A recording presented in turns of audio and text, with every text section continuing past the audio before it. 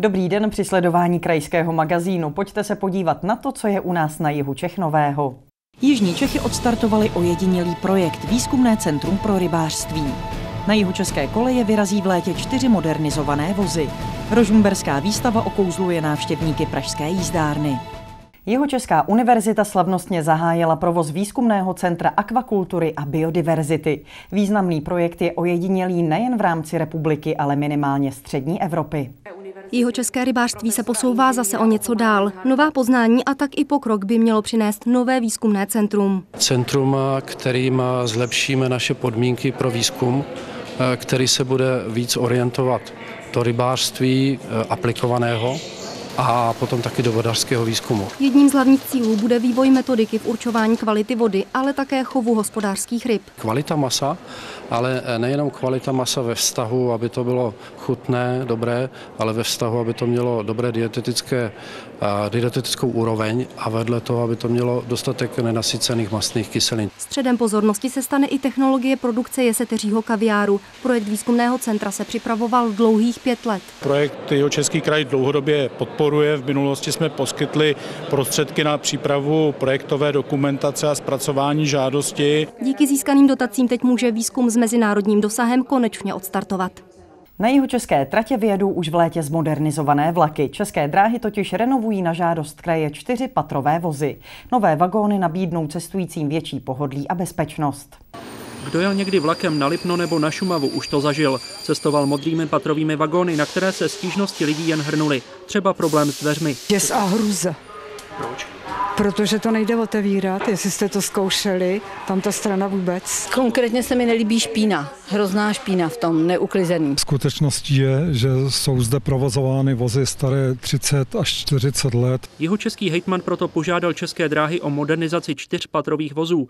Na úpravách se pracuje v českých velenicích, zvýší se tím bezpečnost lidí. Dveře, které vlastně budou mít blokování, budou teda zajištěny, budou ovládány tlačítky, obdobně jako to znají lidé z metra. Změní se také vybavení vozů pro větší pohodlí cestujících. Děláme novou podlahu, vyměníme lino, potáhneme sedáky, nahradíme košenkové potahy, nahradíme e, plišovými. Dráhy slibují kvalitní těsnění oken, elektromagnetické toalety a držáky na kola, tak aby cyklisté mohli na Šumavu vyrazit vlakem. Nástupní plochy jsou nízkopodlažní, to znamená, že zjednodušují nástup jak z kočárky, tak s jízdními koly. Rekonstrukce jednoho vozu vyjde dráhy na 4 miliony korun. Opravené vagony budou od léta jezdit v turisticky atraktivních oblastech. To znamená na trati České Budějovice Rybník Lipno nad Vltavou a na trati České Budějovice Kájov Černý kříž Nové údolí. Lidé se už na vylepšené vozy těší. Super, super, určitě ano. Od podzimu budou jezdit na tratích České Budějovice Strakonice a České Budějovice České Velenice.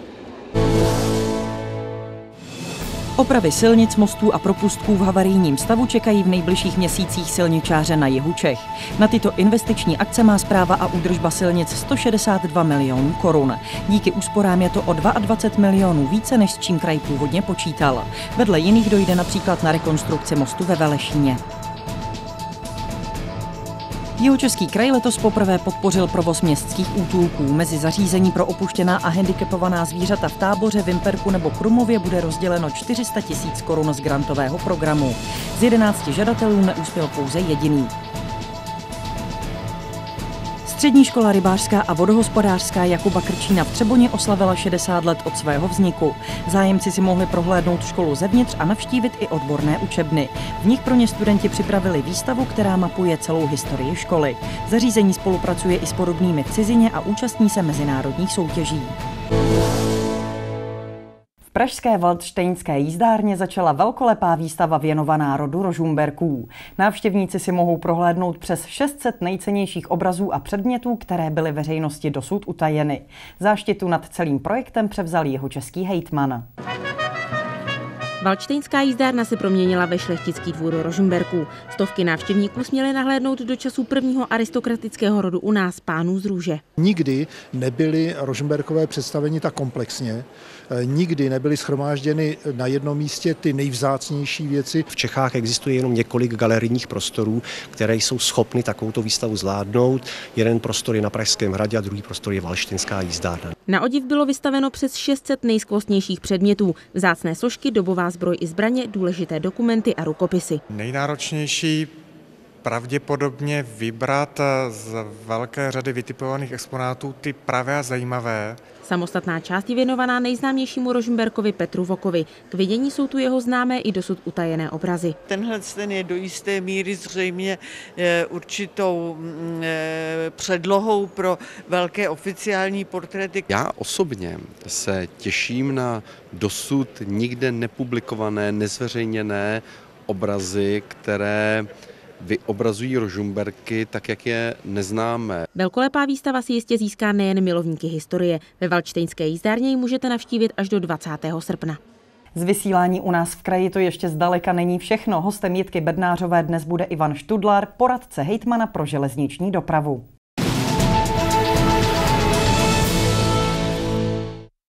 Přeji vám příjemný den.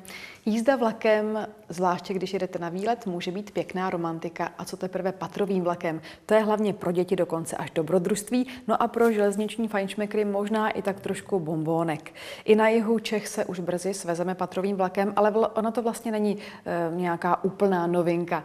Víc o tom samozřejmě ví Ivan Študlar, poradce hejtmana a specialista na železniční dopravu. Dobrý den. Dobrý den. Takže patrové vlaky dříve jezdily i v našem regionu. Proč se vlastně přestali postupně užívat? Eh, jedná se o vozy, které jsou vyrobeny původně bývalé NDR ve vagonce Gerlitz ve Zhořelci eh, téměř před 40 lety.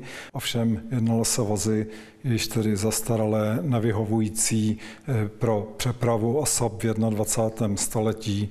Pan Hejtman požádal generálního ředitele eh, Českých drah o rekonstrukci těchto vozů, která vlastně prvně začala být realizována pro kraj Vysočina. Jezdí tam od začátku jara v podstatě sedm takto upravených nebo nově upravených vozů. Co všechno ta revitalizace vozů obnáší? Tak revitalizaci vozů pozná cestující už zvnějška, když k vozu přichází. Důležité pro cestujícího jsou ale vstupní dveře. Ty jsou zcela rekonstruovány, jsou upraveny na tlačítkové ovládání obdobně, jako je tomu třeba v pražském metru. Po vstupu do toho vozu zjistíte, že vlastně je zcela nový interiér, čili nové podlahy, sedáky, pro cestující s jízdními koly jsou rovněž uchyty, je jich tam osm, takže můžeme přepravit osm jízdních kol. Kolik taková obnova jednoho vozu stojí? Eh, tak eh, ty obnovy eh, vozů jsou prováděny v našem jihočeském kraji, v Českých Velenicích, což zase vítáme i z hlediska práce pro naše lidi v regionu a vyjde zhruba na 4 miliony korun. Jaká je obsaditelnost takového vozu? Kolik cestujících pojme? Tak eh, ta obsaditelnost vozu je 126 míst k sezení a samozřejmě by se tam případně vešli i lidé k stání, ale domníváme se, že eh, to využití a řazení bude teda takové, že ta kapacita k sezení by měla plně vyhovovat. I třeba v letním období na trati Rybník Lipno nad Vltavou, kde je silnější rekreační doprava a to je právě trať, na které počítáme s nasazením těchto vozů a další trať, na které počítáme s jejich nasazením, je trať České Budějovice Kájov. A v mimosezónním období pak počítáme s tím, že budou nasazeny například i na tratě České Budějovice České Velenice či České Budějovice Strakonice. V době, kdy se některé vlakové spoje ruší, dokonce to vypadá, že se zruší i některé eh, tratě, můžou být patrové vozy právě třeba lákadlem pro nové cestující, nebo to je spíš opravdu taková ta víkendová výjimka? Eh, tak eh, připravují se vlastně i nově dodaná vozidla z regionálního operačního programu v elektrické trakci, tentokrát elektrické jednotky pro jeho český kraj, které by měly jezdit na rameni Strakonice, České Budějovice, České Velenice takže určitě přitáhnou, přivedou nové cestující.